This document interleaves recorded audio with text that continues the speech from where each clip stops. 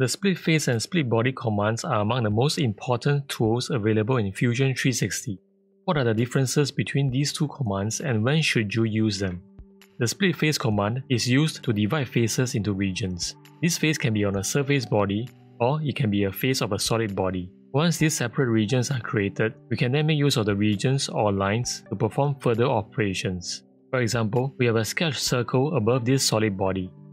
Let's use this to create a split line on the top face of the body. Go to Modify, Split Face. For faces to split, select the top face. For splitting tool, click on the select box and select the sketch circle. Confirm the feature. If we take a look at the bodies folder, this is still a single body. If we do a cross section, notice that the split line does not penetrate the body. The split face command can also be performed on surface bodies.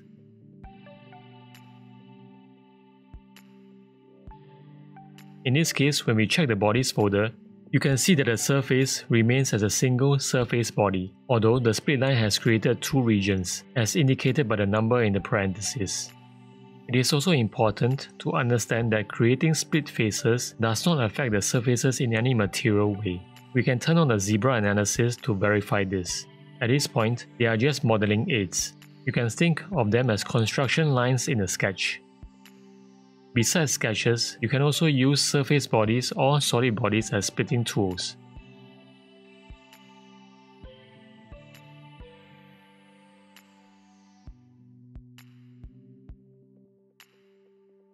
Split faces can be used in a variety of ways.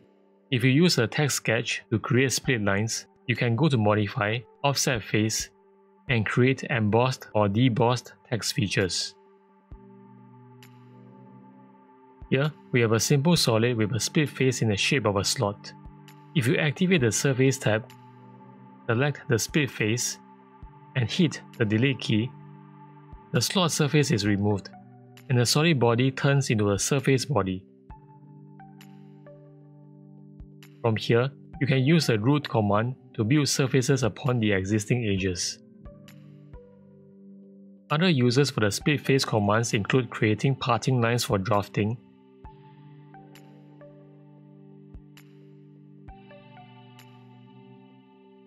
fixing broken surfaces in important models, and specifying regions of stress or heat sources for simulation purposes. The split body command, as the name suggests, splits a single body into multiple bodies. We have a simple body here with a sketch line on the front plane. Go to Modify, Split Body. For body to split, select the body. For splitting tool, click on the select box and select the sketch line. Confirm the feature. Rotating the model reveals split lines all around the plate. Looking at the cross section, you can see that the split line penetrates into the body. Looking at the bodies folder, you can now see two separate bodies. If we perform the move copy command, we can actually move the split body away from the main body. Besides sketches, you can also use surface bodies or even solid bodies as splitting tools. To reinforce our understanding, let's try to use the same sketch line to perform a split face instead and look at the differences. Go to Modify, Split Face.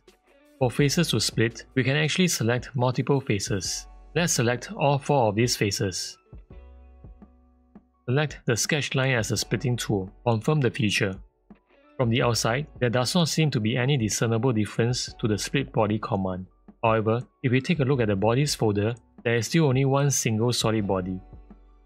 If we perform a cross section, you can see that the split lines are superficial. The split body command can also be performed on surface bodies. Performing a split body command on a single surface body will also result in multiple surface bodies. The split body command is often used as a way of isolating a certain portion of a solid body to perform further operations.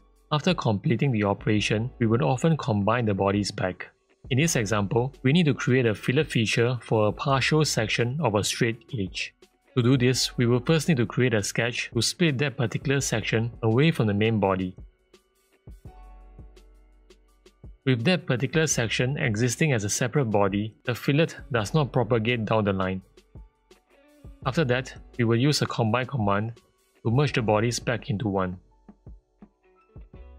We can also use the same approach to perform shelling in a targeted way. For example, I need this feature to be shelled out, but I do not want a shell operation to affect the other faces of the model. To do that, I can use a sketch to split this feature away from the main body. Perform the shell and later combine it back. Splitting the bodies also allows for maximum flexibility when it comes to extruded cuts. In this case, I have two split bodies with an extruded cut going through both bodies. Under the Objects to Cut option, I have the ability to choose which body to cut. This is a great way of constraining your cuts to certain regions of your model. Bodies can also be mirrored, moved around, and patterned.